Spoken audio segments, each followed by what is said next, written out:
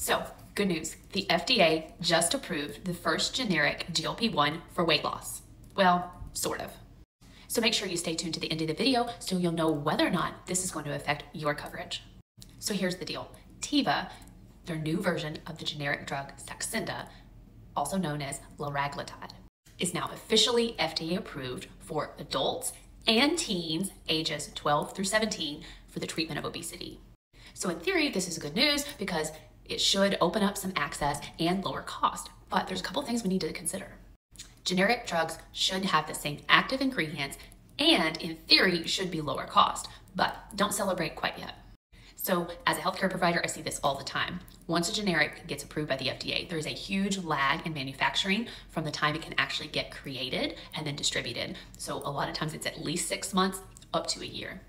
So I would expect to see at least that long before it's on the shelves and certainly that long before your insurance considers paying for it.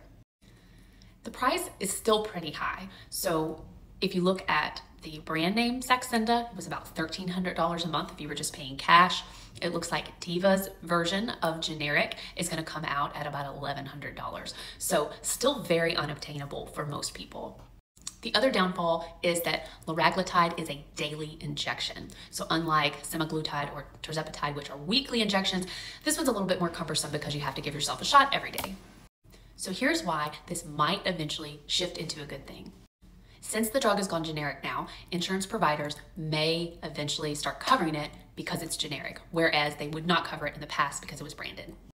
Some people may start getting better access now that it's generics because some people's plans will cover generics but not branded. So also, some people have to pay less if it's a generic tier than it is a branded tier. So if you work on a tier system for insurance, that could be good for you. But for the moment, access is pretty patchy, expensive, and honestly pretty slow.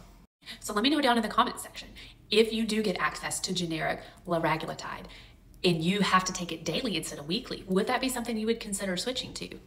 For now, if you're having trouble accessing these medications and you need access, then there are some resources over here in my bio that you can check out.